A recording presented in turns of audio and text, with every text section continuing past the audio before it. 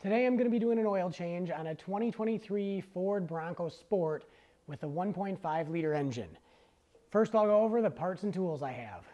Check the description for any details on the stuff I'm using here, whether it be the tools or the oil or the filter. I'll link it all in the description below. Because I'm doing this on a lift, I've got a drain pan like this. Any drain pan will work. Of course, if you're not on a lift, you do not need a tall one like this. So the main thing that you're gonna need, of course, is the oil and the filter. I've got six quarts of oil. This is gonna take 5.3, and I've got a filter over there. I also have a funnel.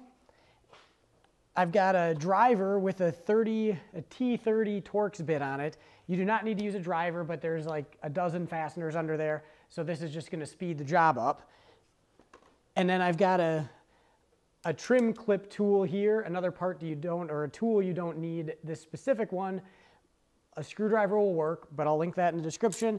And then I've got a pliers. We're probably gonna want this for the oil drain plug. It is not a traditional bolt, and they can be done by hand, but a lot of times they're a little bit tight, so a pliers will make it a little easier. Let's get this thing up in the air.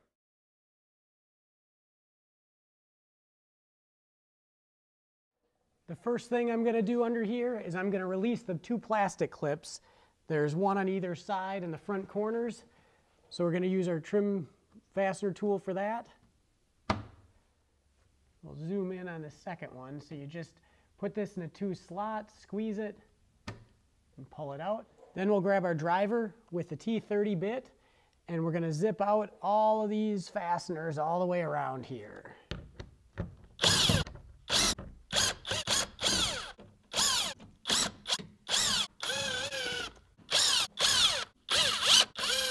Now that we've got all the fasteners out, we've got a couple of points it's hooking on. One is right in the back here, right in the center. And so if we kind of pull it forward and to the side, we can unhook that and get the panel right out. Now that we've got the panel out, we can get to our drain plug here. It's not a traditional bolt, so sometimes you can do these by hand. Sometimes they're really tight. I've grabbed a pliers here, and we're gonna turn it counterclockwise. We'll break it free, and then I can do it the rest of the way by hand and it's going to start coming out as I twist it. So be careful when you're doing this. And it's probably going to come out pretty fast, so we'll slowly pull it out. And there you go. We've got it down to just a dribble, so we're going to go ahead and reinstall the drain plug twist it until it hits the locking tabs. Next, we're going to take the oil filter off.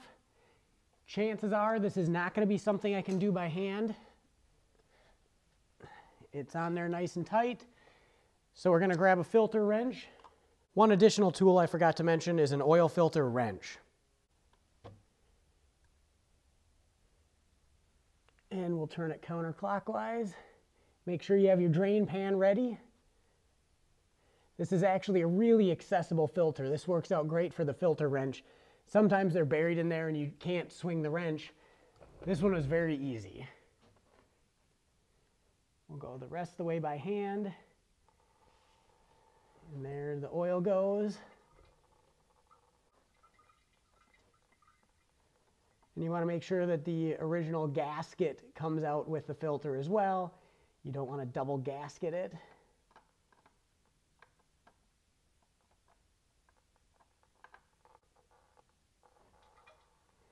There we go, and there's our gasket and filter. We've got a new filter with some fresh oil put on the gasket. We'll get this up here, spin it on. And I'm going to tighten it down pretty tight. I used to be annoyed with filters that were on tight. As you saw, the original one was definitely on tight. Uh, one time on my own vehicle, I went to change the oil and the filter just spun right off. I hardly touched it. That scared me a little bit, and I thought I'd rather have to put a filter wrench on it than have a filter fall off and ruin an engine because I lost all the oil cruising down the highway. So I've changed my tune on that, and so we've got this tightened down pretty good. You, of course, don't want to put a wrench on it to tighten it, but you can go pretty tight by hand and just, of course, reach for the filter wrench next oil change around. Now we can reinstall the cover. We'll tuck it up in the front first slide it back, and then we'll get this little tab. We'll, we'll try our best to do it opposite is how we took it apart. We'll push that little point up in there, got it latched, and now we can get the screws in. I'm gonna actually start with the plastic clips on the corners. And then these, once you push it in, you just push the head of it back down in and that'll lock it in place.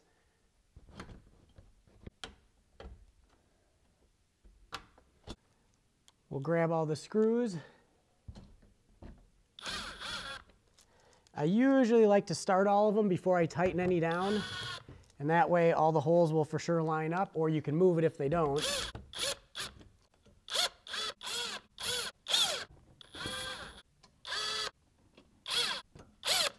And now that we've got them all started, I'm gonna go and finish tightening them down. This tool is massively overrated for this job. So I'm gonna be very delicate with it. Uh, it wouldn't even be bad to do it by hand if that's what you're doing, you're already set. But I'm just gonna make sure I take it easy because I could totally just tear stuff out by running this thing full blast.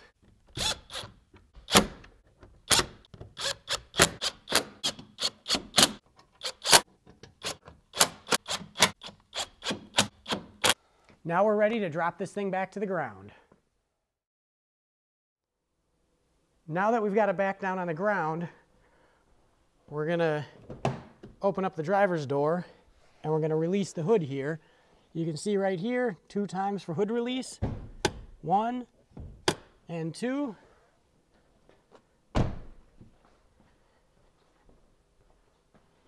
It doesn't have the traditional hood release, so two times in there, and then we can open this up and we can put the prop rod up against the hood. You can see on the oil cap it says SAE 5W20, so that's the oil we're going to be using.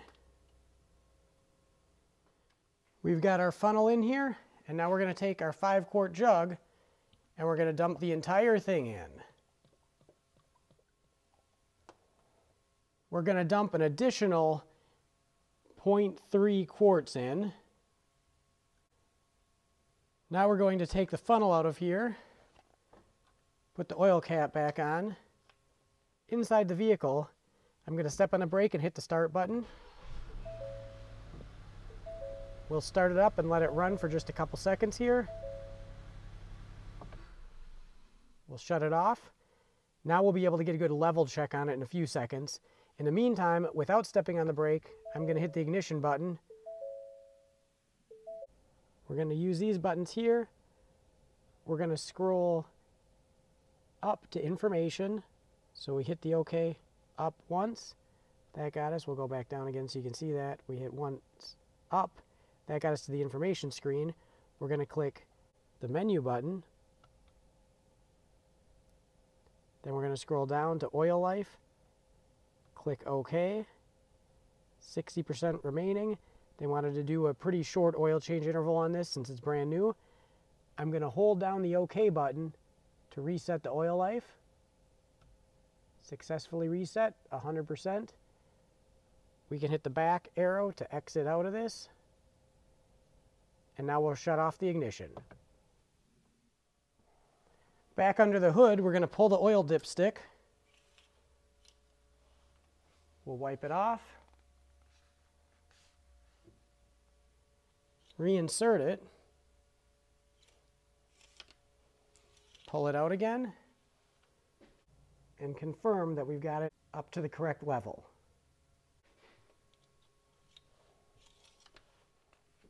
Now we can close the hood.